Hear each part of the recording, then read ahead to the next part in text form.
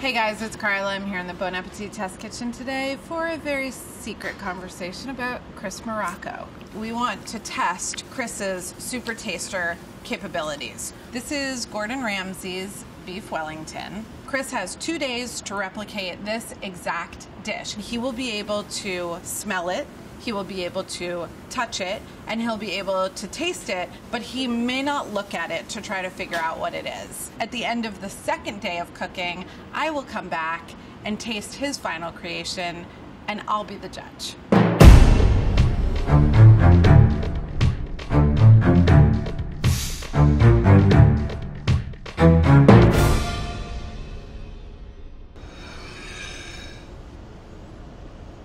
There's a Yorkshire pudding aroma to this.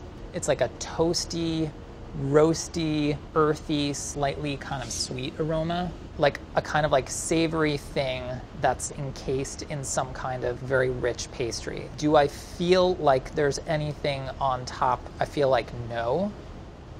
Oh, flaky salt. You sly girl. That pastry is not shattering as I go through it you know, you have this like roughly circular piece of meat.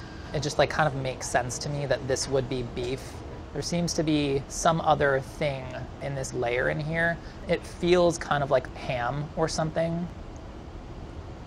I can't tell if the meat itself is flavoring standard ham or if that is actually kind of in like the realm of prosciutto or something. I'm gonna like get into this meat situation filet mignon. There's this layer of stuff. There's something really intensely earthy about that layer. I think we're gonna go ahead and call that mushroom. Let's assume there's like a little garlic and thyme in there. Oh God. I'm getting like white wine, onion, maybe it's red wine, butter, maybe it's shallot. There's like some like real like snap and acid it's possible that it was adjusted on the back end with like just a touch of vinegar. How is this actually constructed? Was this a raw piece of meat simply placed into this pastry case and then baked? Or did this get a quick sear in a skillet? If I had to guess, like right now, I'd say this is like beef Wellington. But what is beef Wellington? Like, I can't friggin' remember what beef Wellington is. It's just like a name that I know. Whew. So, okay, there's like the pastry element, puff pastry, the meat, that's filet, the ham, that's vexing me for sure, but I think I might get like a couple of options. Mushrooms, stock, white wine, red wine, thyme, garlic, butter, shallot. I'm gonna need flaky salt, a couple of eggs for an egg wash. I feel pretty good about that. So I've got my list and we are gonna take this and go shopping.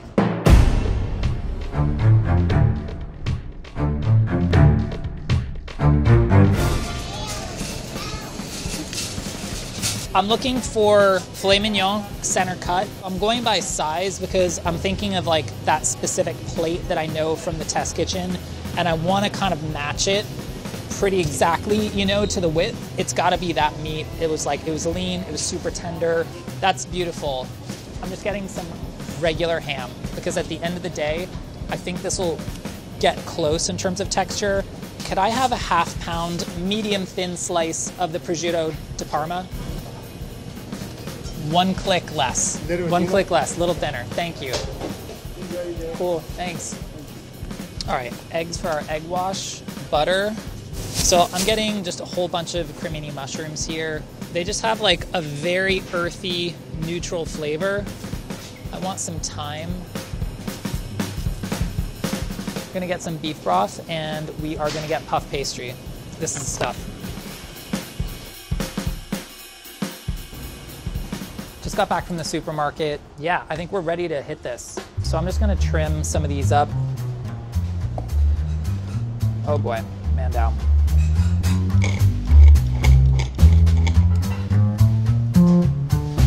I'm not into this. We're gonna go by hand. I feel like the mushroom needs to have like a little bit of texture to it. And that was just pretty upsetting, like how slimy that was getting.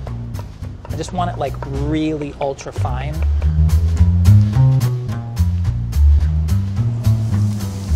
We're not trying to put color on this. I just want to cook it out. Lots of liquid coming out here.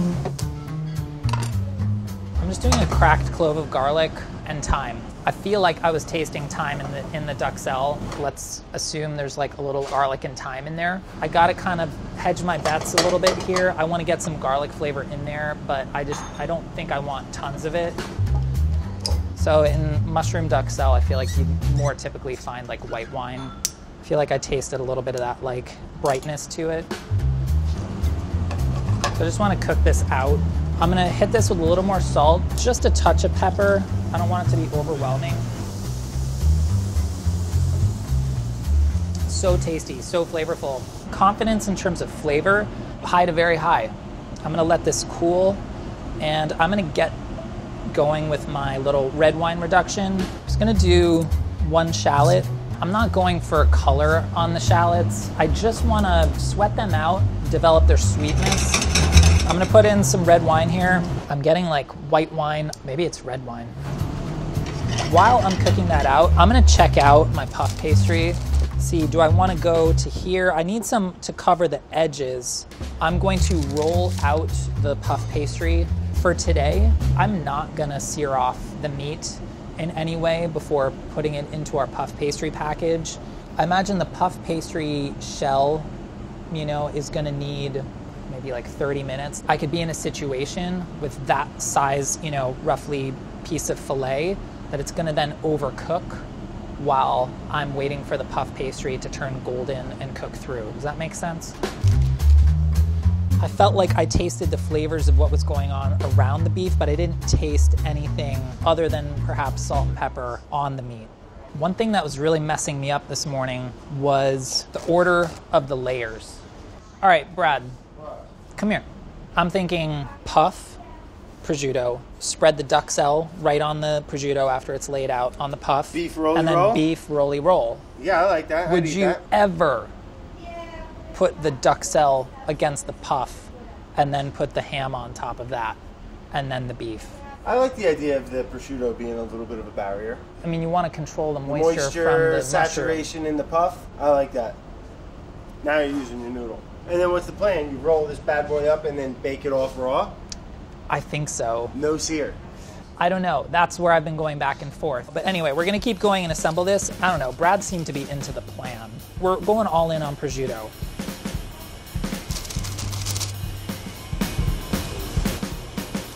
I want to get this pretty tight. I'm going to trim a tiny bit. Kind of put like a little bit of a crimp on it. And then there was that distinct kind of nubbin edge to this. So this is going to go into the fridge until very firm. I'm gonna do quick egg wash. This just helps the puff pastry pick up color. So this is going into 400 oven. Cool, I think we're gonna work on our sauce a little bit. This is my reduction of shallot, olive oil, and wine. I'm gonna adjust this with a little bit of our beef broth and see what that's doing flavor-wise. I need to taste some sort of beef flavor just a few drops of red wine vin, the tiniest bit of acidity. So I'm just gonna see where we're at now. Ugh. Got some obvious problems here. This ended up going, we're gonna call that like 38 to 40 minutes at 425. Part of what was tricky about tasting blindfolded this morning is I couldn't feel any obvious surface detail and I didn't feel any obvious scoring. Certainly did not see the frigging Grand Canyon in the one this morning. I can hopefully correct that by just docking so it's like able to have some moisture escape.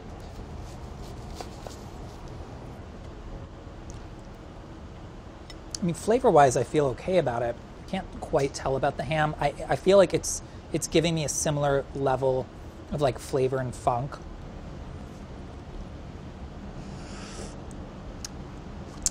I have some things to think about tonight. I used a little bit too much of that um, bone broth, which is kind of flattening out the flavor of the wine. I feel like I'm kind of like circling around it a little bit. Ready for the second tasting. Just trying to get a little bit of clarity on a few key points, and I'm hoping this does it because, frankly, if it doesn't, I'm not sure where that puts me.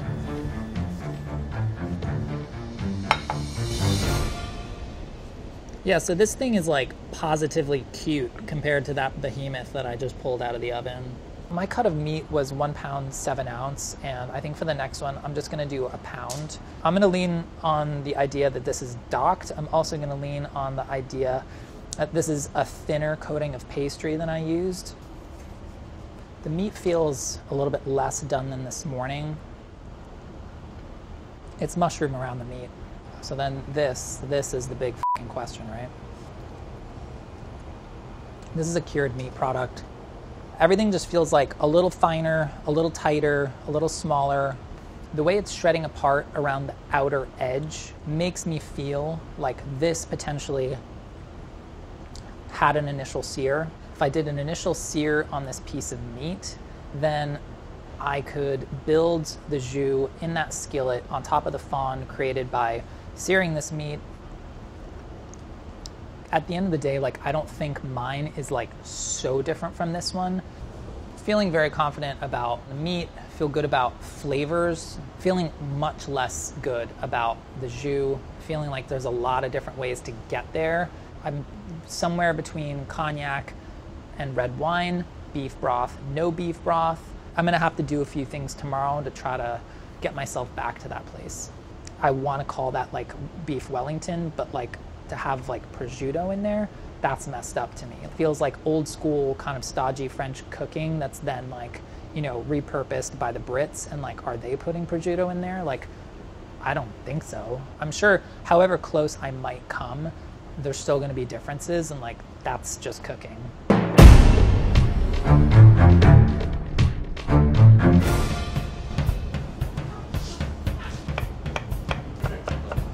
Regarding the mushroom, you know, I'm not really changing anything from yesterday other than the fact that I'm just making more of it. At least I don't have to cook it blindfolded. Just gonna let this cool while I think about sauce. I'm gonna do some shallots.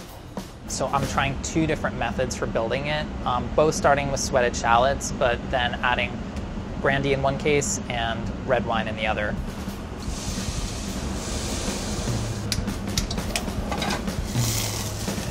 Seems like a pretty French thing to do to light stuff on fire. I'm just gonna put like a quarter cup of beef broth in there. So in this pot right now, I have shallot sweated out in olive oil, red wine reduced by about half, and I have just a splash of beef broth. This is shallot sweated in olive oil and then just deglazed with brandy. The cognac version is completely missing the fruit quality in the red wine version here. I'm gonna throw some red wine in on top of the cognac version. We're now gonna call this our cognac wine hybrid. This to me tastes the closest. Let's see where we end up. All right, we're gonna sear this piece of meat. I really don't wanna cook the meat through. All I'm trying to do right now is put a pretty light sear on this piece of meat.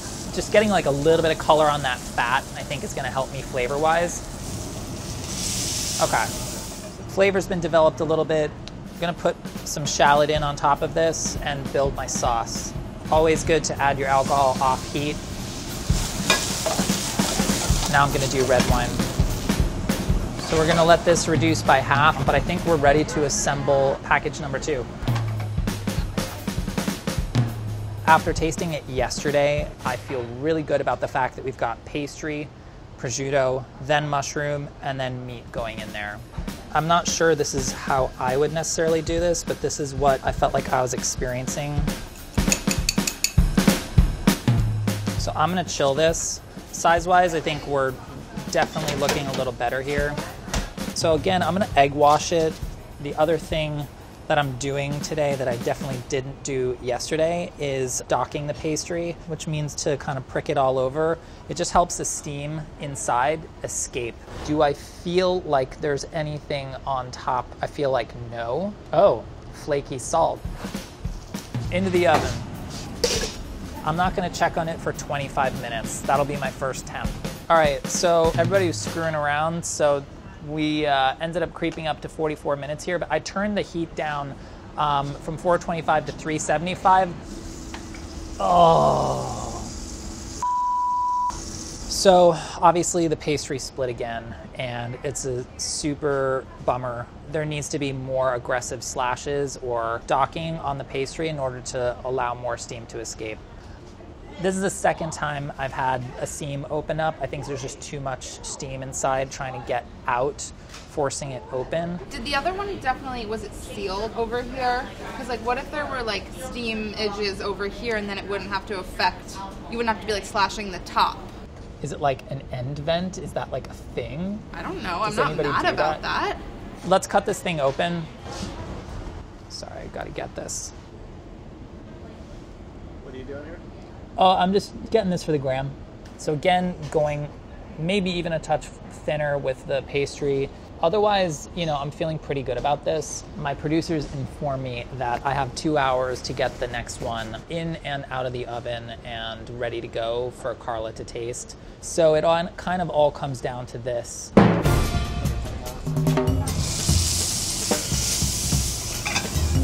Going into the fridge, just want to cool that down, keep it next to Andy's weird old containers of stuff that he didn't deal with before he went to Mexico. I've been feeling pretty good about the pastry itself. Right now, I just trying to make it a little bit thinner.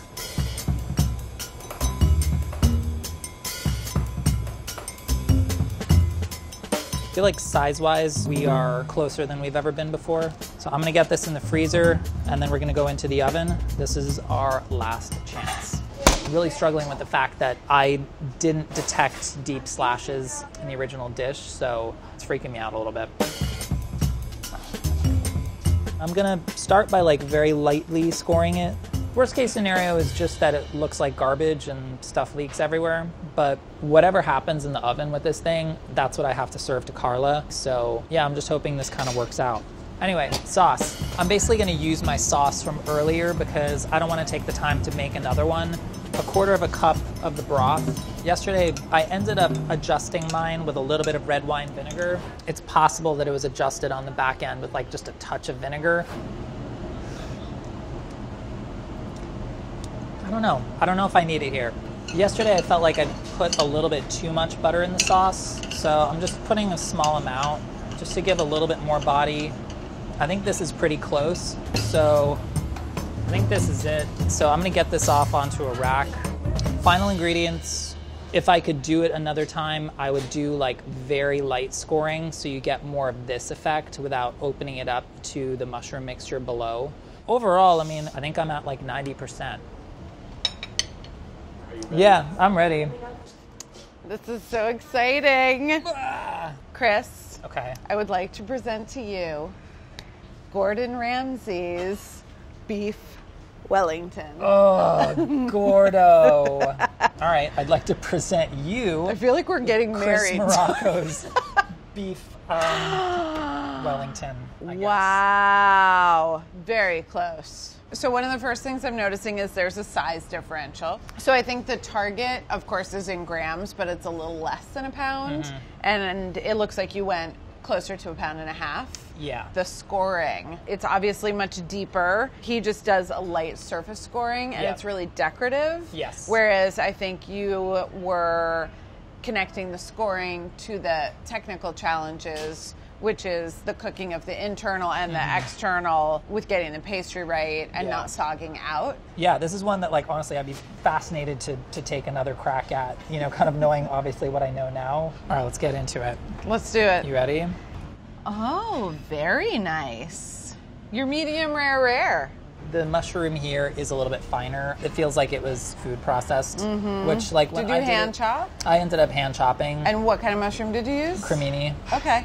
I think we need to taste them. Yeah, You know? I need a refresher.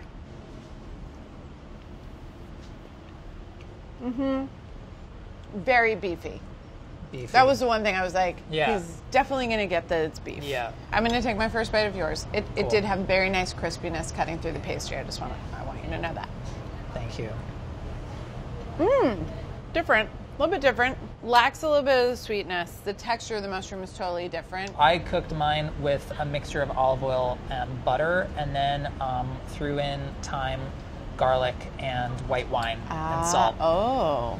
There's thyme leaves in Gordon's recipe, so they're finally blitzed in there. In there. So you don't know. Interesting. Um, and then there's no acidity. You use, you use white wine. I really thought I detected like a little brightness in there. Yeah. There were certain judgments I made as a cook where I was just like, I don't want mushroom paste ever. Sure. But should I have just like followed the spirit of the exercise and just made mushroom paste? I mean, probably. you're trying to match it exactly. I know, but like Yeah, you gotta you gotta resist. I know. You I you said like eh, voice there's a good somehow. possibility that he might make a better version. Did you season and sear, or did you just season and wrap? The first one I seasoned and just went right to wrap. The next one I seasoned and I seared. That is like- correct, but not to cook, just to get. No, just to get a little to bit get of color. All right, let's taste the sauces. Okay. Visually, they're a little bit different.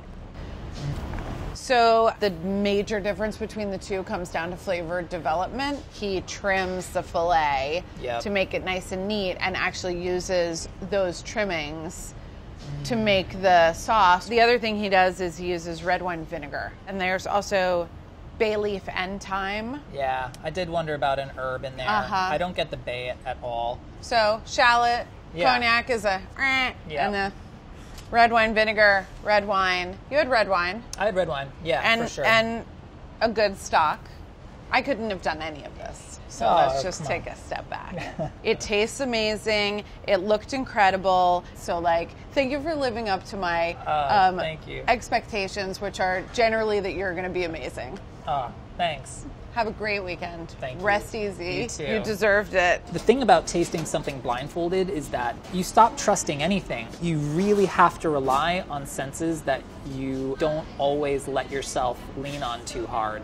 Had a couple small issues here. There's a size differential. Lacks a little bit of the sweetness. The texture of the mushroom is totally different. Yeah. Cognac is a. eh. But honestly, overall, I'm gonna call this a big victory and I'm ready for the next challenge.